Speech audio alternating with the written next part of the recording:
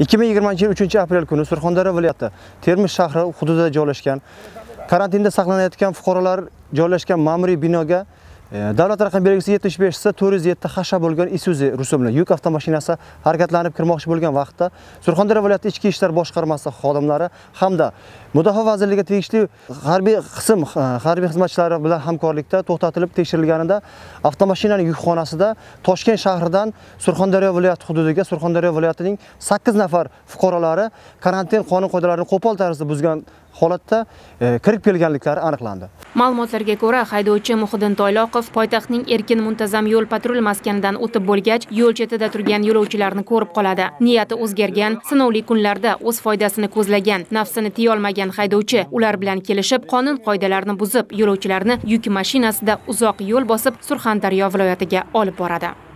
Yukni ortdik toshkent shahrini ichidan bekto'pidan keyin erkin postdan o'tdik. Erkin postdan o'tib shu bir ikkita yo'lovchilar turgan ekan.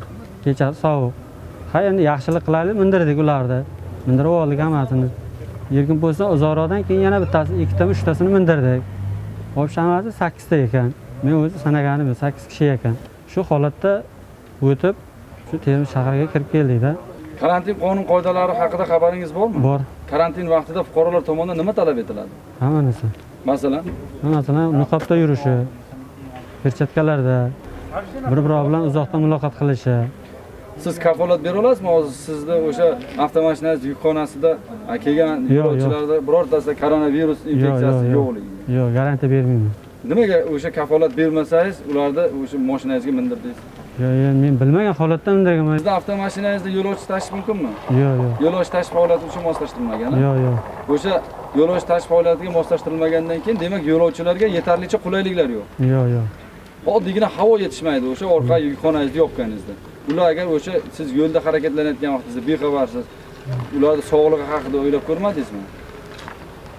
O'ylaganmiz endi o'zlari saglasin bo'lib minib olishganda. Bu xatti harakatingizni qanday baholaysiz? Nima degan xulosa chiqadi siz yo'q men bu- bunga hech deyolmayman.